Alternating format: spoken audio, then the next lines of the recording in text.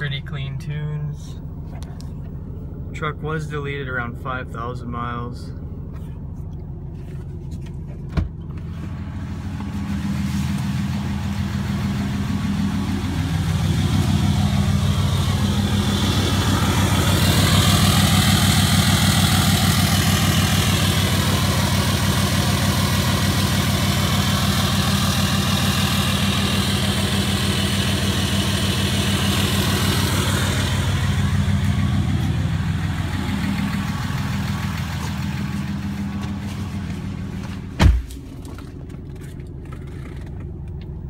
Twenty sixteen, six speed, fully deleted, DPF, EGR, all that crap, gone.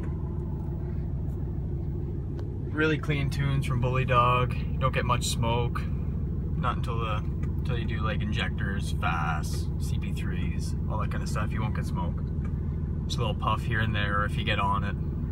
But yeah, I deleted it around 5,000 miles and gained a ton of fuel economy and just power in general. I have it in extreme right now just to show it didn't smoke.